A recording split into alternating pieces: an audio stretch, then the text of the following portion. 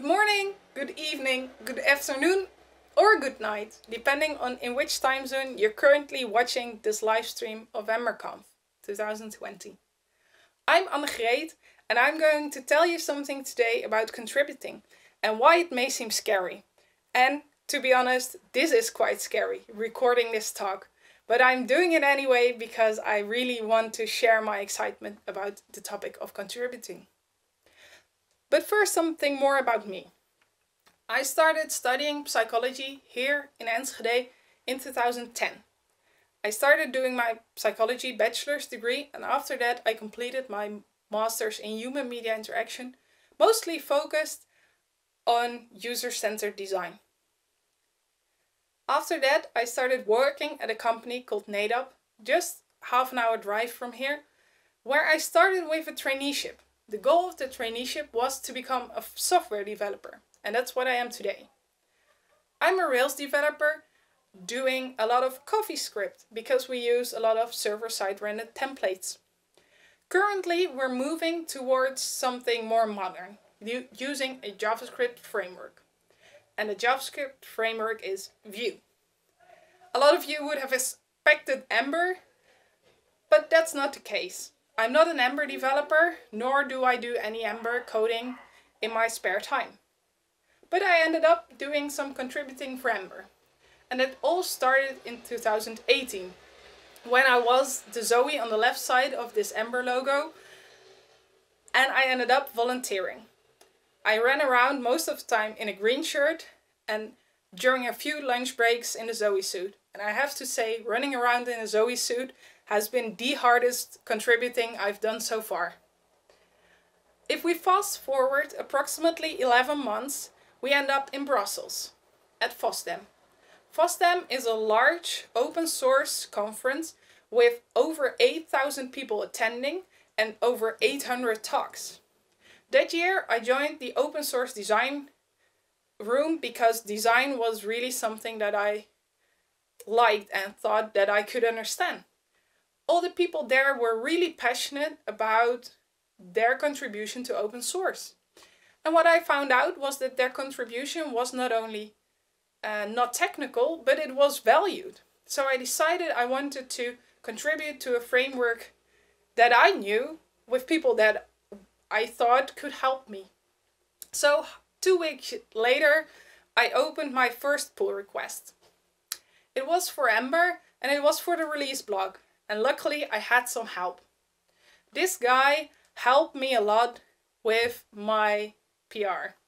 Even though my PR is only four lines of code, I was luckily able to copy and paste a lot from the RFC.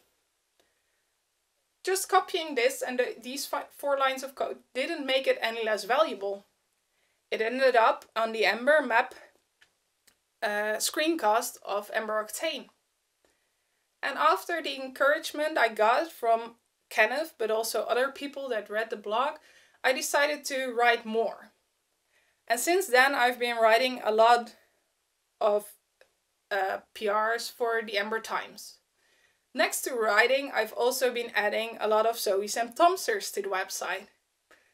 The cool thing is that this is not really hard. It's just four or five lines of code. But it shows to everybody who has a Tomster that their Tomster is valued too.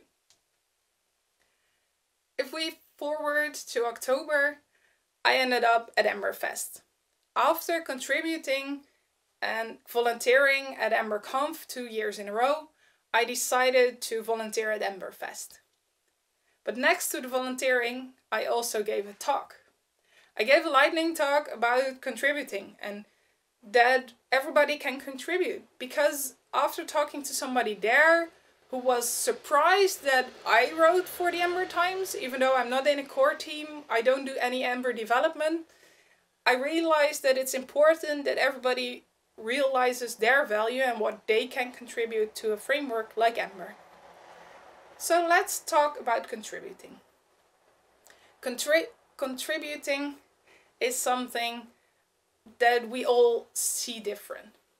So some of you might see contributing as adding and removing lines of code from a repository. Others of you who are like me might view it as running around in a Zoey suit or setting up a meetup.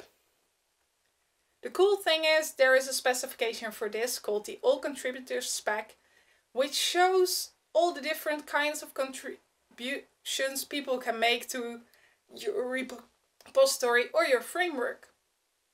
So people who are giving a talk, even if they're currently recording it somewhere, they are contributing to this. But also the people who ask questions on Discord.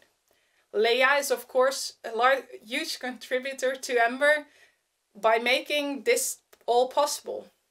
But there's also a reason why people do this. There are psychological things that we can look at and learn from when we want to entice more people into contributing.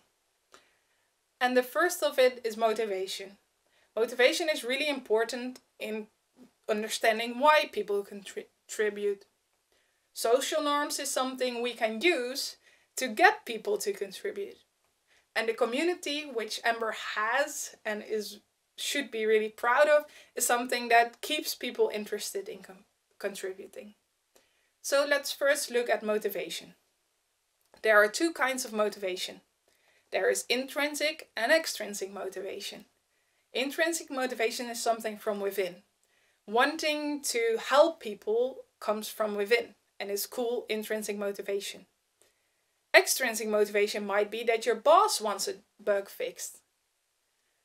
The cool thing is that it doesn't really matter what kind of motivation people have.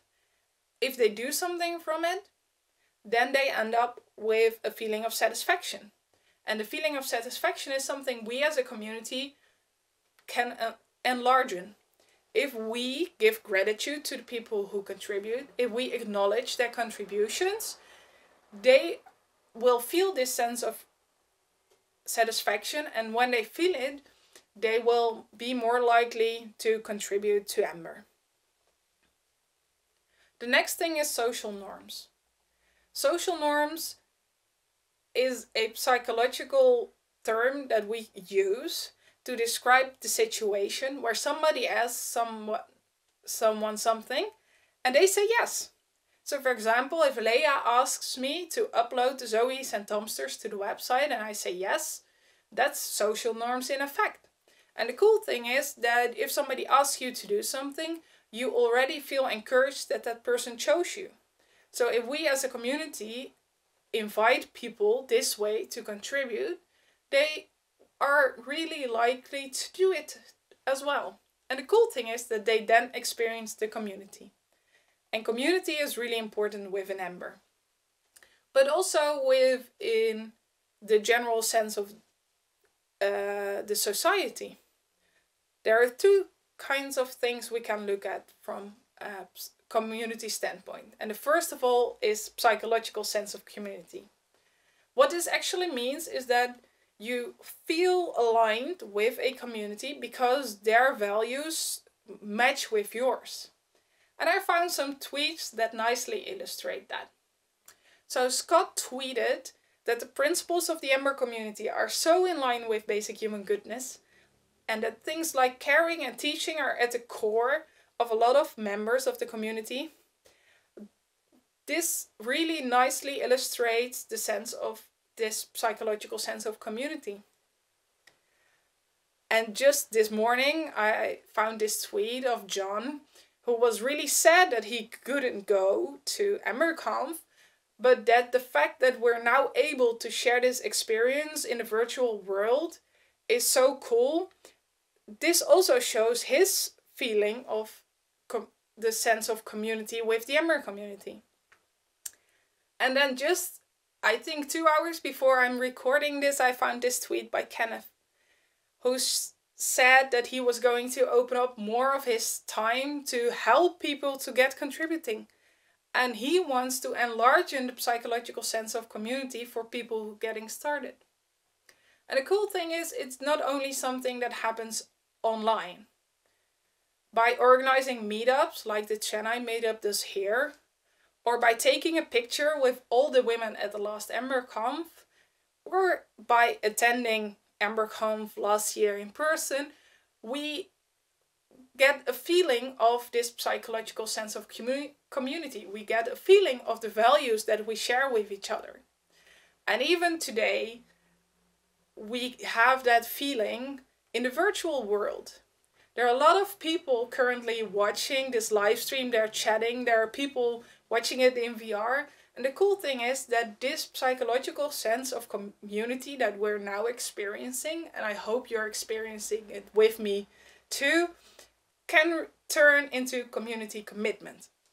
And the cool thing about community commitment is that it's something that makes sure that people keep contributing. Luckily, a lot of Ember people tweet, so I found another tweet to show you this uh, psychological concept. Melanie tweeted, I'm switching to React as an answer to the question what she would tweet once she was kidnapped to show us what happened.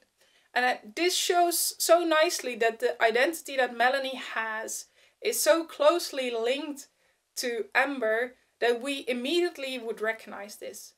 And this psych- community commitment has to do with loyalty. So people are willing to exert effort on behalf of this community. People will uh, share their experiences, and by sharing their experiences, they make sure that they're more likely to keep contributing. So the cool thing is that if we as a community start talking to each other and exposing it to the outside world, we're as a community getting tighter. So what can we learn from what I told you today? First of all, make sure that you thank everybody. Of course, this is common courtesy, but be aware of all the people that help you when you have an add on or when you're organizing a meetup. Make sure that you're not only acknowledging people who create the PR, but also the people that help the PR take more shape. The next thing we as a community could do is ask people to contribute to their strengths. Asking someone to contribute will hopefully give them a cool sense that they can do it. But if you ask them to contribute to their strengths, they're even more likely to feel really satisfied afterwards.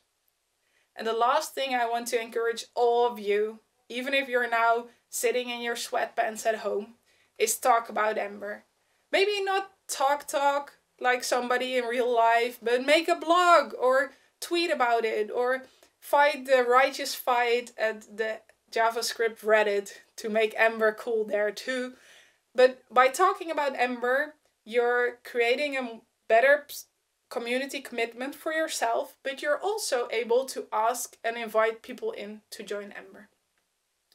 So this is something that I wanted to share with you. And I want to tell you to do it. It might seem scary. You might feel really weird at first talking to people about this thing that's really important to you, but do it anyway. It's not that hard. You can start by just creating a PR somewhere or just writing a simple blog. And as the community grows, we will be there for you. Just like Kenneth was there for my first PR, there are a lot of people on Discord, uh, on the GitHub repos that will really, really like to help you. So thank you. You can find me on GitHub. You can find me on Twitter, on Instagram. My slides are on Notist. And if you have any questions, just send me a message on Discord. Thank you very much.